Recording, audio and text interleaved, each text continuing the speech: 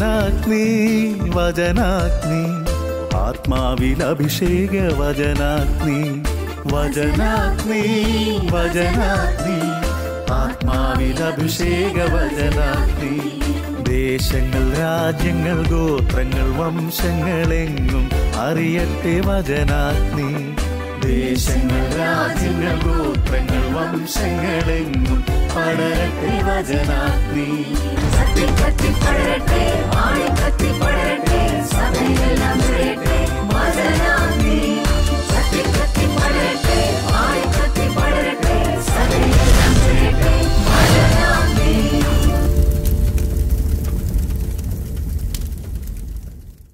Price load hallelujah ഈശോയിൽ സ്നേഹമുള്ള സഹോദരി സഹോദരന്മാരെ എവർക്കും വചനാഗ്നി ശുശ്രൂഷയിലേക്ക് ഈശോയുടെ നാമത്തിൽ ഹൃദ്യമായ സ്വാഗതം. ദൈവത്തിന്റെ വചനം സജീവവും ഊർജസ്വലവുമാണ്. ദൈവനിവേശിതമായ ഈ വചനത്തെ ഗ്രഹിക്കുവാനും അതിന്റെ പൊരുൾ മനസ്സിലാക്കുവാനും ദൈവത്തിന്റെ പരിശുദ്ധാത്മാവ് നമ്മെല്ലാവരെയും സഹായിക്കട്ടെ.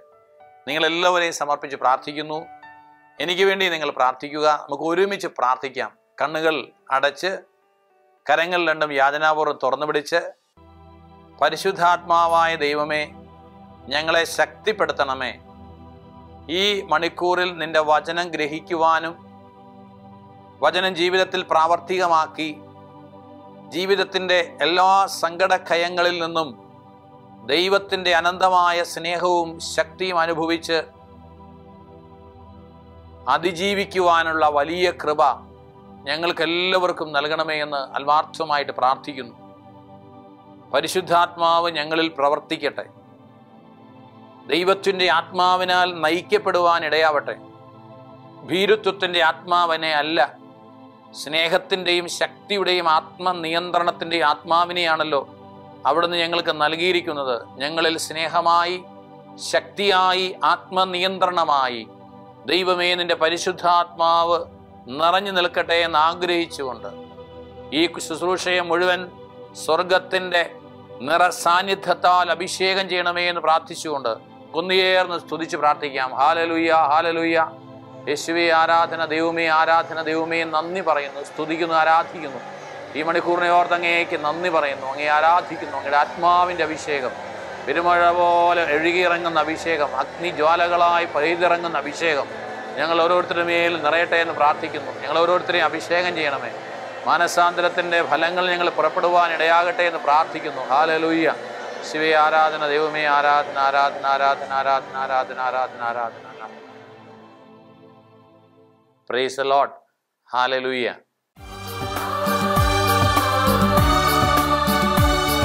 വചനത്തിന്റെ വിത്തു വിതയ്ക്കാൻ പോകാം.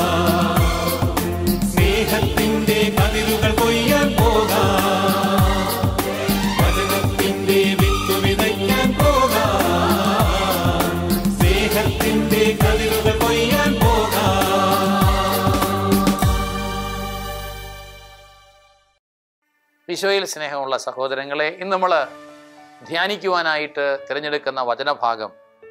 വിശുദ്ധ മർക്കൂസ് അറിയിച്ച സുവിശേഷം പത്താമത്തെ അധ്യായം നാൽപ്പത്തി ആറ് മുതലുള്ള തിരുവചനങ്ങളാണ്. ഇതിന്റെ സമാന്തരമായ വചനഭാഗം മത്തായി അറിയിച്ച സുവിശേഷത്തിന്റെ ഇരുപതാമത്തെ അധ്യായത്തിലും ലൂക്കാ സുവിശേഷത്തിന്റെ പതിനെട്ടാമത്തെ അധ്യായത്തിൽ നമുക്ക് കണ്ടെത്താൻ കഴിയും. പക്ഷേ ഈ മൂന്ന് സംഭവങ്ങളും തമ്മിൽ ചെറിയ വ്യത്യാസങ്ങളുണ്ട് എങ്കിലും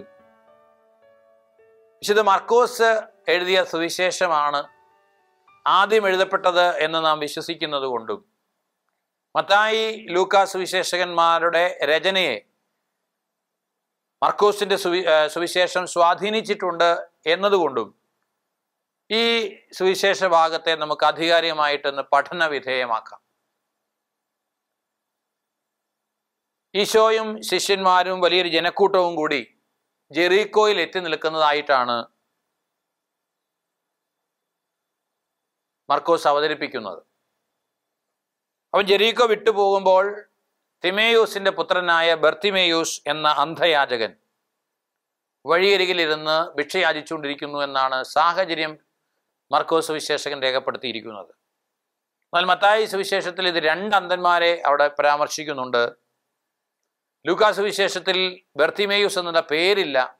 മറിച്ച് ഒരു കുരുടൻ അവനെ നില വിളിച്ച് കരയുന്നതായിട്ടാണ് സൂചിപ്പിക്കുന്നത്.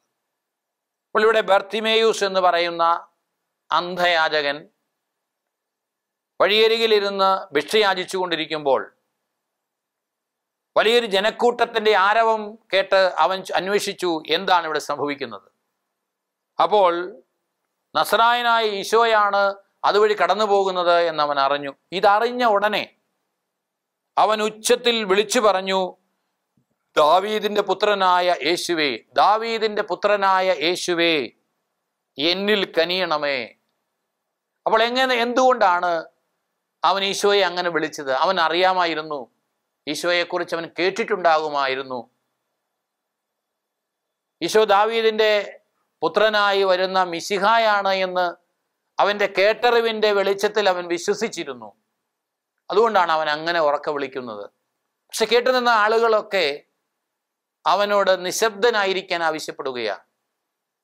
എന്നാൽ നിശബ്ദനായിരിക്കാൻ എത്രമാത്രം ആവശ്യപ്പെട്ടോ അതിനനുസരിച്ച് അവൻ കൂടുതൽ ഉച്ചത്തിൽ നിലവിളിച്ചു പ്രാർത്ഥിച്ചു എന്നാണ് സുവിശേഷകൻ രേഖപ്പെടുത്തുന്നത്. കൂടുതൽ ഉച്ചത്തിൽ വിളിച്ചു പറഞ്ഞു ദാവീദിന്റെ പുത്ര എന്നിൽ കനിയണമേ. അപ്പോൾ ഈ കൂടുതൽ ഉച്ചത്തിൽ വിളിക്കുന്നതിനെ അല്ലെങ്കിൽ നിലവിളിക്കുന്നതിനെ എക്രാസൻ എന്ന ഗ്രീക്ക് പദമാണ് അവിടെ ഉപയോഗിക്കുന്നത്. എക്രാസൻ എന്ന് പറയുന്ന അതേ വാക്ക് തന്നെയാണ് മൂന്ന് സുവിശേഷകന്മാരും രണ്ടാമത്തെ വിളിക്ക് വേണ്ടി ഉപയോഗിക്കുന്നത്. എന്ന് പറഞ്ഞാൽ ഈ എക്രാസൻ എന്ന് പറയുന്ന വിളി ഒരു ക്രൈങ് ഔട്ട് എല്ലാ വഴികളും അടഞ്ഞവന്റെ ഒരു വിളി. നില മലയാളത്തിൽ പറഞ്ഞാൽ നിലവിട്ടവന്റെ വിളിയാണ് നിലവിളി. അവൻ ഉറക്ക വിളിക്കുകയാണ്. കർത്താവേ ദാവീദിന്റെ പുത്ര യേശുവേ എന്നിൽ കനിയണമേ എന്ന് അവൻ ഉച്ചത്തിൽ വിളി- വിളിച്ചു കരയും നിലവിളിച്ച് കരയുകയാണ്. ഈ നിലവിളിച്ചവന്റെ നിലവിളി യേശുവിന്റെ കാതുകളിലെത്തി. അവനെ വിളിക്കാൻ പറഞ്ഞു. അവൻ എത്തി അവൻ വിളിക്കാൻ പറഞ്ഞപ്പോൾ ഉടനെ ഈ അന്ധയാചകൻ അവന് അവൻ ധരിച്ചിരുന്ന അവനെ പൊതിഞ്ഞിരുന്ന പുറങ്കുപ്പായം ദൂരേക്ക് എറിഞ്ഞിട്ട് ഈശോയുടെ അടുക്കലേക്ക് കുതിച്ചു ചാടിയെത്തി എന്നാണ് പറയുന്നത്. അന്ധനാണവൻ. അന്ധനായവൻ പുറങ്കുപ്പായം എടുത്തെറിഞ്ഞ് എടുത്തു ചാടി കുതിച്ചു ചാടി യേശുവിന്റെ അടുക്കലെത്തുകയാണ്. അപ്പോൾ ഈശോ അവനോട് ചോദിക്കുകയാണ് ഞാൻ നിനക്ക് വേണ്ടി എന്ത് ചെയ്യണമെന്നാണ് നീ ആഗ്രഹിക്കുന്നത്? അവൻ എനിക്ക് കാഴ്ച വീണ്ടു കിട്ടണമെന്ന് ആവശ്യപ്പെടുന്നു. ഈശോ പറഞ്ഞു നീ പോയിക്കൊള്ളുക. നിന്റെ വിശ്വാസം നിന്നെ രക്ഷിച്ചിരിക്കുന്നു. അതിനുശേഷം അവൻ പോവുകയല്ല ചെയ്തത്. ഈശോയുടെ പുറകെ അവനെ അനുഗമിക്കുകയാണ് ചെയ്തത്.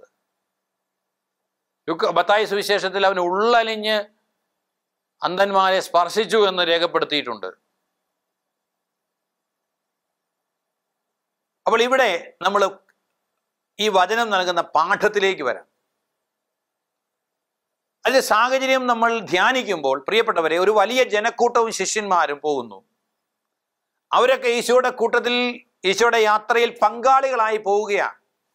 അവർക്ക് ഒരുപക്ഷെ ഈശോയെക്കുറിച്ച് അറിയാം ഈശോയുടെ അത്ഭുതങ്ങളൊക്കെ കാണണം അവിടുത്തെ വചനമൊക്കെ കേൾക്കണം അങ്ങനെ അങ്ങ് പോണതേ ഉള്ളൂ. ഒരു ഈസി മട്ടിൽ അല്ലെങ്കിൽ ഒരു ഓളത്തിന് പോവാൻ നമ്മൾ പറയൽ.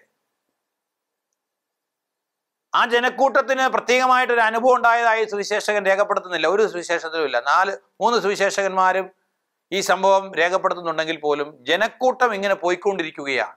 അവരെക്കുറിച്ച് നെഗറ്റീവായിട്ടാണ് സൂചിപ്പിക്കുന്നത്. ഈശോയെ വിളിച്ച് കരഞ്ഞവനോട് നിശബ്ദനായിരിക്കാൻ ആവശ്യപ്പെട്ട ഒരു ജനക്കൂട്ടം. എല്ലാവരും അവനെ ശകാരിക്കുകയാണ്. ജനക്കൂട്ടം മുഴുവൻ ഈ അന്ധനെ ശകാരിക്കുകയാണ്. ഇവിടെ ഈ അന്ധൻ ഈശോയെ കൊണ്ട് ആവശ്യമുണ്ടായിരുന്നു. കാരണം അവന് കാഴ്ചയില്ലായിരുന്നു അവനൊരു ഭിക്ഷക്കാരനായിരുന്നു അവൻ മറ്റുള്ളവരെ ആശ്രയിച്ചാണ് ജീവിക്കേണ്ടിയിരുന്നത്. അങ്ങനെ പരാശ്രയത്തിൽ ജീവിച്ചുകൊണ്ടിരുന്ന അന്ധനെ സംബന്ധിച്ചിടത്തോളം ഈശോ അവന്റെ ജീവിതത്തിലേക്ക് ഇടപെടുക എന്നത് ഒരാവശ്യമായിരുന്നു. അതിലേറെ അത്യാവശ്യമായിരുന്നു. അതുകൊണ്ടാണ് അവൻ നിലവിളിച്ച് കരഞ്ഞ് ഈശോയെ അവിടെ നിർത്തിച്ച് അവന്റെ കാര്യം സാധ്യമാക്കിയത്.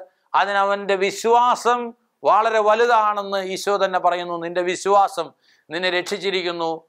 നീ പൊയ്ക്കൊള്ളുക.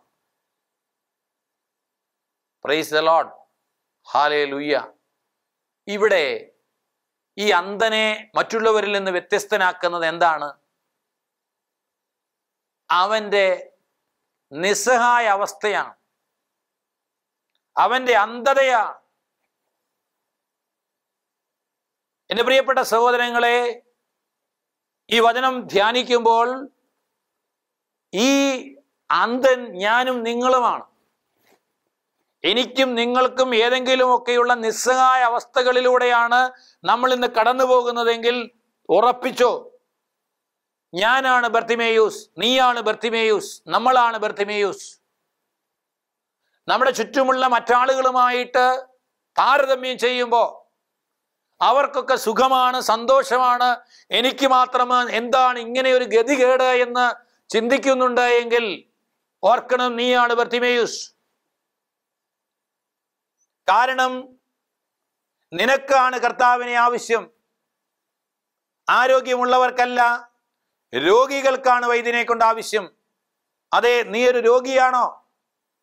നീ ഒരു കടബാധ്യതയുള്ളവനാണോ? നീ വേദനയുടെ നെരിപ്പോടിലൂടെ കടന്നു പോവുകയാണോ നിന്റെ കുടുംബത്തിൽ നേറുന്ന പ്രശ്നങ്ങൾക്ക് മധ്യേ നീ നിസ്സഹായ അവസ്ഥയിലാണോ പ്രിയപ്പെട്ടവരുടെ വേർപാടിന്റെ ദുഃഖം താങ്ങാനാവാതെ നിരാശയിലേക്ക് പോകുന്നതിന് മനസ്സോടെയാണോ നീ വചനം കേൾക്കുന്നത്? പ്രിയപ്പെട്ട മകനെ മകളെ നിന്റെ ജീവിതത്തിലേക്ക് ഈശോ കടന്നു വരേണ്ടത് ആവശ്യമാണെന്ന് നിനക്കറിയാം ഈശോയ്ക്കറിയാം. നിനക്ക് നിലവിളിക്കാൻ ഒരു അവസരമുണ്ടോ? നിനക്ക് നിലവിളിക്കാൻ ഒരു കാരണമുണ്ടോ? നിന്റെ ജീവിതം ദൈവത്തിന്റെ സ്പർശനമേൽക്കാൻ ഇടയാക്കുന്നു എന്നാണ് അതിന്റെ അർത്ഥം. അതല്ലാതെ മറ്റുള്ളവരിൽ നിന്ന് നീ തള്ളപ്പെട്ടവനല്ല നീ ഒരു ഭിക്ഷക്കാരനല്ല. നീ ഇന്ന് വരെ ഭിക്ഷയാചിച്ചെങ്കിൽ യേശു നിന്റെ ജീവിതത്തിലേക്ക് കടന്നു വരുമ്പോ നിന്റെ ഭിക്ഷ അവസാനിപ്പിച്ച് യേശുവിനെ നിന്റെ ജീവിതത്തിലേക്ക് നീ സ്വീകരിക്കുമ്പോ ഈശോ നിന്നോട് ചോദിക്കുന്ന ഒരു ചോദ്യമുണ്ട്. ഞാൻ നിനക്ക് വേണ്ടി എന്തു ചെയ്തു തരണമെന്നാണ് നീ ആഗ്രഹിക്കുന്നത്? പ്രിയപ്പെട്ടവരെ ഈ ചോദ്യം കേൾക്കാൻ നിനക്ക് കഴിയണമെങ്കിൽ ഈ അന്തം ചെയ്തതുപോലെ ഒന്ന് രണ്ട് കാര്യങ്ങൾ നമ്മൾ ചെയ്യണം. ഒന്ന് ഈശോ മിശിക നിന്നെ രക്ഷിക്കാൻ കഴിവുള്ളവനാണ് എന്ന് നീ വിശ്വസിക്കണം. വിശ്വാസം കേൾവിയിൽ നിന്നും കേൾവി മിശികായെ കുറിച്ചുള്ള പ്രസംഗത്തിൽ നിന്നുമാണ് എന്ന് വചനം പറയുമ്പോൾ നീ വചനം കേൾക്കാൻ ഈശോയെക്കുറിച്ച് കേൾക്കാൻ കിട്ടുന്ന അവസരങ്ങളൊക്കെ പ്രയോജനപ്പെടുത്തി നിന്റെ വിശ്വാസത്തെ നീ വർദ്ധിപ്പിക്കണം. എങ്കിലേ നിന്റെ ജീവിതത്തിന്റെ നിസ്സഹായതകളിൽ നിരാശപ്പെട്ടു പോകാതെ യേശുവേ ദാവീദിന്റെ പുത്ര കനിയണമേ എന്ന് നിലവിളിച്ച് കരഞ്ഞ ബർത്തിമേയുസിനെ പോലെ ജീവിതത്തിന്റെ വേദന നിറഞ്ഞ സാഹചര്യങ്ങളിൽ മിശികായെ വിളിച്ചു കരയാൻ നിലവിളിക്കാൻ നിനക്ക് സാധിക്കുകയുള്ളൂ. മാത്രമല്ല നിന്റെ നിലവിളിയിൽ ദൈവം നിനക്ക് ഉത്തരം തരുമ്പോ ദൈവത്തെ നീ കേൾക്കാൻ ദൈവത്തെ നീ കാണാൻ ദൈവം നിന്റെ ജീവിതത്തിൽ ഇടപെടാൻ ഇടയാകുമ്പോ നിനക്കൊരു തിരിച്ചറിവുണ്ടാവും. എന്താണെന്നോ? നിന്റെ അവസ്ഥയെക്കുറിച്ച് നിന്നെ പൊതിഞ്ഞു വച്ചിരിക്കുന്ന ചില കവചങ്ങളെക്കുറിച്ച് നീ അണിഞ്ഞിട്ടുള്ള ചില മുഖംമൂടികളെക്കുറിച്ച് ചില പുറംകുപ്പായങ്ങളെക്കുറിച്ച് കുംഭസാരം എന്ന കൂതാശ ഈ പുറങ്കുപ്പായം വലിച്ചെറിയാൻ നിനക്ക് കിട്ടുന്ന അവസരമാണ്. അവിടെയാണ് നീ തീരുമാനമെടുക്കേണ്ടത്. നിന്റെ ജീവിതത്തിലേക്ക് കർത്താവ് കടന്നു വരുന്നതിന് തടസ്സമായിട്ടുള്ള പുറംചട്ടകളൊക്കെ വലിച്ചെറിയണം പുറംപൂച്ചുകളൊക്കെ കളയണം കപടതകളൊക്കെ കളയണം പാപ സ്വഭാവങ്ങൾ കളയ കളയണം. തിന്മയുടെ സ്വാധീന ശക്തികളെ ആട്ടിപ്പായിക്കണം എന്നിട്ട് നീ കർത്താവിന്റെ മുമ്പിൽ എളിമയോടെ നിൽക്കണം. അപ്പോഴാണ് നിന്നോട് കർത്താവ് ചോദിക്കുന്നത് ഞാൻ നിനക്ക് വേണ്ടി എന്ത് ചെയ്തു തരണമെന്നാണ് നീ ആഗ്രഹിക്കുന്നത്. അപ്പോൾ പറയാൻ ഒത്തിരി കാര്യങ്ങളുണ്ടാവാം. കാരണം വേദനയുടെയും സങ്കടങ്ങളുടെയും നിരവധിയായ അനുഭവങ്ങളുടെ മധ്യത്തിലൂടെ കടന്നു പോകുന്ന വ്യക്തികൾക്കാണ് ഈശോയോട് സംസാരിക്കാനുള്ളത്. ജനക്കൂട്ടത്തിന് ഈശോയോട് സംസാരിക്കാനൊന്നുമില്ല. ബർത്തിമേസിന് ഈശോയോട് സംസാരിക്കാനുണ്ട്. എനിക്ക് കാഴ്ച വീണ്ടും കിട്ടണം ഈശോയെ. നമുക്ക് പ്രാർത്ഥിക്കാൻ വിഷയമില്ലേ? പ്രാർത്ഥിക്കുമ്പോൾ നമ്മൾ ഉറക്കം തൂങ്ങിപ്പോവാണോ? പ്രാർത്ഥനയ്ക്കൊരു തീഷ്ണത കിട്ടണില്ലേ? എന്താ കാരണം? അല്ലെങ്കിൽ നമ്മുടെ പ്രാർത്ഥനയ്ക്ക് ദൈവം ഉത്തരം തരുന്നില്ല എന്ന് നമ്മൾ പരാതി പറയാറുണ്ടോ? എന്താ കാരണം? ബർത്തിമേയുസിനെ പോലെ നിസ്സഹായതയിൽ നിലവിളിക്കുമ്പോഴാണ് ആ നിലവിളിക്കൊക്കെ ഒരു തീഷ്ണത ഉണ്ടാവുക വെന്റിലേറ്ററിലും ഐസിയിലും ഒക്കെ ആരെങ്കിലും പ്രിയപ്പെട്ടവർ കിടക്കുമ്പോ അപ്പോഴുള്ള പ്രാർത്ഥനയുടെ ഒരു തീഷ്ണതയില്ലേ? അതാണ് ബർത്തിമയൂസിന്റെ പ്രാർത്ഥനയുടെ തീഷ്ണത. നമ്മളൊക്കെ ഒരുപക്ഷെ പല ധ്യാനങ്ങൾ കൂടിയിട്ടുണ്ടാവാം. ഇപ്പൊ കൊറോണ പടർന്നു പിടിച്ചപ്പോ അല്ലെ കോവിഡ് പശ്ചാത്തലത്തിൽ ധ്യാന കേന്ദ്രങ്ങളിലൊക്കെ ശുശ്രൂഷകൾ ഓൺലൈനിലൂടെ ആക്കിയിട്ടുണ്ട് ഇപ്പൊ നമ്മൾ ഓൺലൈനിൽ ധ്യാനം കൂടുന്നുണ്ടാവാം. അല്ലെങ്കിൽ ധ്യാന കേന്ദ്രങ്ങളിൽ പോയ കാലം നമുക്കൊന്ന് ഓർക്കാം. ആർക്കാണ് സത്യത്തിൽ ദൈവാനുഭവം ഉണ്ടായിട്ടുള്ളത്? ഒരു കുഴപ്പവുമില്ലാതെ വെറുതെ വീട്ടിലിരുന്നപ്പോൾ ഒരു ടൈം പാസിന് വേണ്ടി ഒരു റിട്രീറ്റിന് പോയിട്ടുള്ള ആളുകൾക്കാണോ അതോ ജീവിതത്തിന്റെ എല്ലാ വഴികളും അടഞ്ഞ് ഇനി കർത്താവ് മാത്രമേ ആശ്രയമുള്ളൂ എന്ന ബോധ്യത്തോടുകൂടി എവിടെ പോയാലാണ് എനിക്ക് രക്ഷ കിട്ടുന്നത് എന്ന ചോദ്യവുമായി ദൈവത്തിന്റെ വചനത്തിന് മുമ്പിലിരുന്നപ്പോ അവിടെ ആ വചനത്തിന്റെ പെരുമഴ നമ്മുടെ ആത്മാവിലേക്കും ശരീരത്തിലേക്കും മനസ്സിലേക്കും ഒരു കുളിർമയായി പെയ്തിറങ്ങിയതല്ലേ?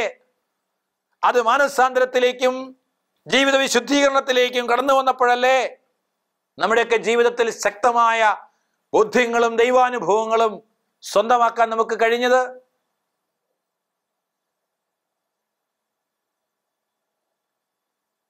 ഒരു കുഴപ്പവുമില്ലാതെ എല്ലാം തികഞ്ഞവനാണ് എന്ന ധാരണയിൽ ജീവിക്കുന്ന ഒരുവനോട് വചനം പ്രസംഗിച്ചാലോ ദൈവത്തെക്കുറിച്ച് സംസാരിച്ചാലോ അവന്റെ ജീവിതത്തിൽ അതിന് അനുഭവമാകണമെന്നില്ല.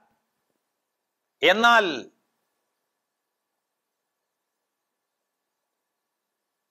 ക്ലേശങ്ങളിലൂടെ ദുരിതങ്ങളിലൂടെ കഷ്ടപ്പാടിലൂടെ രോഗപീഠകളിലൂടെ കടന്നു പോകുന്ന ഒരു മനുഷ്യനെ സംബന്ധിച്ചിടത്തോളം അവൻ ഏറ്റവും ആവശ്യമാണ് ദൈവത്തെ. അപ്പോഴാണ് അവന്റെ വിളി നിലവിളിയാവുന്നത്. എന്നെ കേൾക്കുന്ന പ്രിയപ്പെട്ട സഹോദരങ്ങളെ ഈ ദൈവവചനം നിങ്ങൾ കേൾക്കുമ്പോൾ നിങ്ങളുടെ ജീവിതത്തിൽ ഏതെങ്കിലുമൊക്കെ സങ്കടമുണ്ടെങ്കിൽ നിങ്ങൾ ഭയപ്പെടരുത് നിരാശപ്പെടരുത്. നിങ്ങൾ അഭിമാനിക്കണം. കാരണം എന്തെന്നോ? നിങ്ങളുടേതാണ് നമ്മുടെ ദൈവം. നിങ്ങളുടേതാണ് ഈ ദൈവ സത്യവേദ പുസ്തകം വിശുദ്ധ ഗ്രന്ഥം ബൈബിളിന്റെ ഏടുകളിലേക്ക് നമ്മൾ പരതിയാൽ ബൈബിളിൽ ദൈവത്തിന്റെ സാന്നിധ്യം ഇറങ്ങി വന്നതൊക്കെ നിലവിളിക്കുന്നവന്റെ നിലവിളിക്കുത്തരമായിട്ടാണ്. ഹാഗാർ തന്റെ പുത്രനായ ഇസ്മായിലുമായി മരുഭൂമിയിൽ വെള്ളം കിട്ടാതെ നിലവിളിച്ചപ്പോ കുഞ്ഞിന്റെ കരച്ചിൽ കെട്ടിറങ്ങി വന്നൊരു ദൈവമുണ്ട്. മോശ മരുഭൂമിയിൽ ദൈവത്തിന്റെ ജനവുമായി പോകുമ്പോഴും ജീവിതത്തിന്റെ പ്രതികൂലമായ അനുഭവങ്ങൾ തന്റെ പ്രിയപ്പെട്ടവരിൽ നിന്നുണ്ടായപ്പോഴും ഒക്കെ കമന്ന് കിടന്ന ദൈവത്തിന്റെ മുമ്പിൽ നിലവിളിച്ചപ്പോഴൊക്കെ ദൈവമായ കർത്താവ് കരുണയോടെ ഇറങ്ങി വന്ന ചരിത്രം വിശുദ്ധ ഗ്രന്ഥങ്ങളിൽ ഗ്രന്ഥത്തിൽ നമുക്ക് വായിക്കാൻ കഴിയും. സിംഹക്കുഴിയിൽ കിടന്ന് ദൈവത്തെ വിളിച്ചവനിലേക്ക് തീച്ചുളയിൽ കിടന്ന് ദൈവത്തെ സ്തുതിച്ചവരിലേക്ക് ദൈവം ഇറങ്ങി വന്നത് ദാനിയലിന്റെ പുസ്തകത്തിൽ നമുക്ക് കാണാം. ന്യായാധിപന്മാരാൽ വ്യാജമായ കുറ്റാരോപിതയായി കൊലക്കളത്തിലേക്ക് നയിക്കപ്പെടുമ്പോൾ ദൈവത്തിന് മുമ്പിൽ നിലവിളിച്ച സൂസന്നയുടെ നിലവിളിക്ക് ഉത്തരമായി ദാനിയേൽ എന്ന ചെറുപ്പക്കാരനിലേക്ക് ദൈവത്തിന്റെ പരിശുദ്ധാത്മാവ് ആവസിച്ച് അവനെ അങ്ങോട്ട് അയച്ചത് നമ്മൾ വിശുദ്ധ ഗ്രന്ഥത്തിൽ വായിക്കുന്നു. ദാനിയലിന്റെ പുസ്തകം പതിമൂന്നാമത്തെ അധ്യായത്തിൽ. പ്രിയപ്പെട്ടവരെ ഇതുപോലെ എത്ര എത്ര ഉദാഹരണങ്ങൾ വിശുദ്ധ ഗ്രന്ഥത്തിൽ നമുക്ക് കണ്ടെത്താൻ കഴിയും? ഈശോ പോലും കുരിശിൽ കിടന്നുകൊണ്ട് നിലവിളിച്ചു എന്നല്ലേ സുവിശേഷകന്മാർ രേഖപ്പെടുത്തുന്നത്? ഏൽ ഏൽ ഇൽമാ സബക്താനി. എന്റെ ദൈവമേ എന്റെ ദൈവമേ എന്തുകൊണ്ട് നീ എന്നെ ഉപേക്ഷിച്ചു? ദൈവം ഉപേക്ഷിച്ചോ? ഇല്ല. ദൈവം തന്റെ പദ്ധതിയുടെ ഭാഗമായി തന്റെ പുത്രനെ ബലിയായി അർപ്പിച്ചതിന്റെ മഹത്വീകരണത്തിന്റെ പൂർണത മൂന്നാം ദിവസം ഉത്ഥാനത്തിന്റെ മഹത്വത്തിൽ ദൈവത്തിന്റെ പുത്രൻ ഈ ഭൂമിയിൽ പാപത്തെയും മരണത്തെയും ശാപത്തെയും രോഗദുരിതങ്ങളെയും എല്ലാം പരാജയപ്പെടുത്തി ഉയർത്തെഴുന്നേറ്റപ്പോ ഈ നിലവിളിയുടെ ഉത്തരം ഇന്നും നമുക്ക് അനുഗ്രഹമായി നിൽക്കുകയാണ്. പ്രിയപ്പെട്ടവരെ നമുക്ക് ഈ തിരുവചനത്തിൽ ദൈവത്തിന്റെ സ്നേഹം നിറഞ്ഞു നിൽക്കുന്ന ബർദിമേയൂസ് അനുഭവിച്ച ക്രിസ്തു സാന്നിധ്യത്തെ നമ്മുടെ ജീവിതത്തിലേക്ക് കൊണ്ടുവരാം. കഷ്ടതകളുണ്ടോ നിനക്ക്? അഭിമാനിക്കണം. കഷ്ടത സഹനശീലവും സഹനശീലം ആത്മധൈര്യവും ആത്മധൈര്യം പ്രത്യാശയും ഉളവാക്കുന്നു എന്ന് നാം അറിയുന്നു. പ്രത്യാശ നമ്മെ നിരാശരാക്കുന്നില്ല. എന്തെന്നാൽ നമുക്ക് നൽകപ്പെട്ടിരിക്കുന്ന പരിശുദ്ധാത്മാവിലൂടെ ദൈവത്തിന്റെ സ്നേഹം നമ്മുടെ ഹൃദയങ്ങളിലേക്ക് ചൊരിയപ്പെട്ടിരിക്കുകയാണ്. അപ്പോൾ ദൈവത്തിന്റെ സ്നേഹം നമ്മുടെ ഹൃദയങ്ങളിലേക്ക് ചൊരിയപ്പെടാൻ നമ്മുടെ ജീവിതത്തിൽ സഹനങ്ങളും വേദനകളും കഷ്ടപ്പാടുകളും ഉണ്ടാവണം. അങ്ങനെ ഉണ്ടാവുന്ന അവസരങ്ങൾ ദൈവകോപമായിട്ടോ ദൈവശിക്ഷയായിട്ടോ പാപത്തിന്റെ പരിണതഫലമായിട്ടോ പരിഗണിക്കാതെ എന്റെ ദൈവം എന്റെ ജീവിതത്തിൽ ഇടപെടാനായിട്ടുള്ള ഏറ്റവും അനുകൂലമായ അവസരമായി കണ്ടുകൊണ്ട് ബർത്തിമേയൂസ് എങ്ങനെ ദൈവത്തിന് മുമ്പിൽ നിന്ന് അവന്റെ ആഗ്രഹത്തിന് വേണ്ടി നിലകൊള്ളുന്ന ഒരു ദൈവത്തെ അനുഭവിച്ചറിഞ്ഞോ? അതുപോലെ ഈശോ അനുവദിച്ചു തരുന്ന എല്ലാ വേദനകളെയും സഹനങ്ങളെയും ഇത് മരണത്തിൽ അവസാനിക്കാനുള്ളതല്ല. ദൈവത്തിന്റെ മഹത്വത്തിന് മനുഷ്യപുത്രൻ മഹത്വം പ്രാപിക്കേണ്ടതിനുമാണെന്ന ബോധ്യത്തോടുകൂടി ഏറ്റെടുത്ത് ദൂരെ എറിയേണ്ട പാപചാബല്യങ്ങളെയെല്ലാം ദൂരത്തെറിഞ്ഞ് ദൈവത്തിന്റെ അത്ഭുതകരമായ സാന്നിധ്യവും അത്ഭുതകരമായ വിടുതലും സൗഖ്യവും അനുഭവിക്കാൻ എന്റെ പ്രിയപ്പെട്ട സഹോദരങ്ങളെ നമുക്കൊന്നു ചേർന്ന് വിശ്വാസത്തോടെ ദൈവത്തെങ്കിലേക്ക് നമ്മളെ തന്നെ ചേർത്ത് പിടിക്കാം.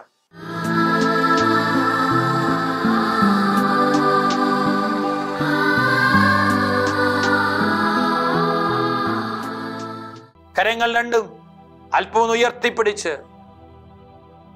ദൈവത്തിന്റെ സാന്നിധ്യം നമ്മുടെ മധ്യത്തിലേക്ക് അന്ന് ജെറിക്കോയിൽ ഭിക്ഷയാചിച്ചു കിടന്ന ബർത്തിമേയുസിന്റെ മുമ്പിലൂടെ കടന്നുപോയ ജനക്കൂട്ടത്തിനൊന്നും കിട്ടാത്ത ഒരു വലിയ ദൈവാനുഭവം. ഇപ്പോൾ ഈ ദൈവത്തിന്റെ വചനം കേൾക്കുന്ന എന്റെ പ്രിയപ്പെട്ട ദൈവമകനെ ദൈവമകളെ നിന്റെ ജീവിതത്തിൽ ഉണ്ടാകാൻ നീ ആ ബർത്തിമേയുസിന് അതേ മനസ്സോടെ കണ്ണുനീരോടെയാണ് പ്രാർത്ഥിക്കുന്നതെങ്കിൽ നിലവിളിച്ചാണ് പ്രാർത്ഥിക്കുന്നതെങ്കിൽ ദൈവം നിന്റെ ദൈവമാ. ഇടപെടൽ ഇവിടെയുണ്ട്. നിന്റെ സങ്കടം ദൈവം അറിയാത്തതല്ല. നീ ചോദിക്കും മുമ്പ് തന്നെ നിന്റെ ആവശ്യങ്ങൾ അറിയുന്ന സ്വർഗസ്ഥനായ പിതാവ് നിന്റെ കൂടെയുണ്ട്. ആ ദൈവം നിന്റെ ജീവിതത്തിലേക്ക് ഇടപെടുന്നതിന് തടസ്സമായി നിൽക്കുന്ന സകല പുറങ്കുപ്പായങ്ങളെയും വലിച്ചെറിയാനുള്ള ഒരു അഭിഷേകം ദൈവത്തിന്റെ പരിശുദ്ധാത്മാവ് ഇപ്പോൾ പകർന്നു തരട്ടെ. കരമുയർത്തി ശക്തമായിട്ടൊന്ന് സ്തുതിച്ച് വിടുതലിന് വേണ്ടി സൗഖ്യത്തിന് വേണ്ടി പ്രാർത്ഥിക്കുക. ഹാലലുയ്യ ഹാലലുയ്യ ഹാലലുയ്യ ഹാലലുയ്യ ഹാലലുയ്യ. യേശുവേ ആരാധന ആരാധന ആരാധന ആരാധന ആരാധന. ഹാലലുയ്യ ഹാലലുയ്യ ഹാലലുയ്യ യേശുവേ ആരാധന യേശുവേ ആരാധന ആരാധന ആരാധന.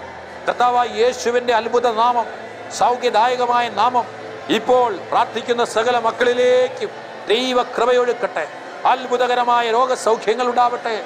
അത്ഭുതകരമായ വിടുതൽ സംഭവിക്കട്ടെ. ദൈവകൃപയാൽ ജ്വലിക്കട്ടെ. ദൈവാത്മാവിനാൽ നിറയട്ടെ എന്ന് പ്രാർത്ഥിക്കുന്നു. ഹാലലുയ്യ ഹാലലുയ്യ ഹാലലുയ്യ എല്ലാ കഷ്ടതകളും ദൈവത്തിന് സമർപ്പിക്കാൻ കഷ്ടതയിൽ അഭിമാനിക്കാൻ അതിലൂടെ ദൈവത്തിന്റെ പരിശുദ്ധാത്മാവ് നൽകുന്ന ദൈവസ്നേഹം അനുഭവിക്കുവാൻ ഇടയാവട്ടെ. എന്റെ ദൈവമേ നിന്റെ മഹത്വത്തിന്റെ സമ്പന്നതയിൽ നിന്ന് ഞങ്ങളെല്ലാവരെയും നീ അനുഗ്രഹിക്കണമേ. നിന്റെ കൃപയൊഴുക്കണമേ. നിന്റെ കൃപ കാരുണ്യം ഏറെ ആവശ്യമായിരിക്കുന്ന എല്ലാ മക്കളിലേക്കും പരിശുദ്ധാത്മാവിന്റെ അതിശക്തമായ അഭിഷേകം സൗഖ്യത്തിന്റെ അഭിഷേകം വിടുതലിന്റെ അഭിഷേകം ഈ നിമിഷം വ്യാപരിക്കട്ടെ. ഹാലലുയ്യ ഹാലലുയ്യ യേശുവെ ആരാധന ആരാധന ആരാധന ആരാധന ആരാധന. Hallelujah hallelujah hallelujah hallelujah hallelujah hallelujah hallelujah hallelujah hallelujah praise the lord hallelujah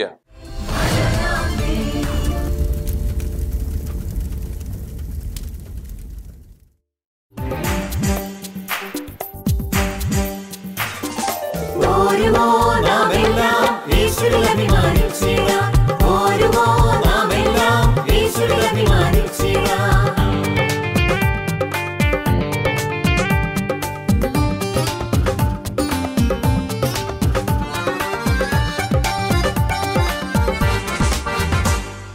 നമ്മുടെ നാഥൻ ഒലിവുമലയിൽ അന്ന് നൽകിയ മിഷൻ ദൂത്. തലമുറ തലമുറ കൈമാറി.